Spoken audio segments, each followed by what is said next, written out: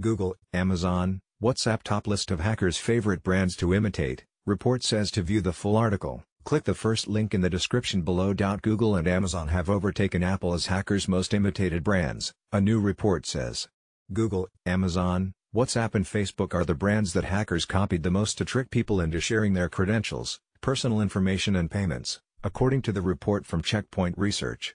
The two tech giants sit at the top with 13% followed by WhatsApp and Facebook at 9% and Microsoft at 7%. Apple sank to 7th place from the top spot in the first quarter of this year, the cybersecurity firm added. They are ranked by their overall appearance in brand phishing events during the second quarter of 2020. Bezos says counterfeit products on Amazon are scourge Facebook is the most imitated brand on mobile while Microsoft ranks at the top in email attacks. Google, Amazon and WhatsApp were top brands for web-based attacks, which comprised 61% of the attacks.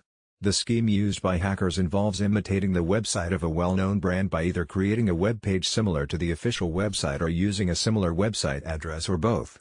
There are several ways to dupe victims into visiting malicious websites. Victims can be tricked into going to a bogus website via phishing email or text message.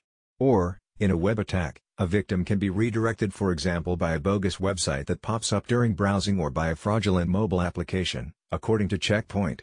Once the victim arrives at the fake website, the scheme is to get them to enter information into a form in order to steal sensitive personal information. Google CEO says tech giant deletes this information used by police so, why do these schemes work? They work because we're human, and we make mistakes either because we're in a rush and our defenses are lowered or because we think we're too smart to fall for a phishing attempt. Check Point said in its report. They also work if the attacker does to view the full article, click the first link in the description below.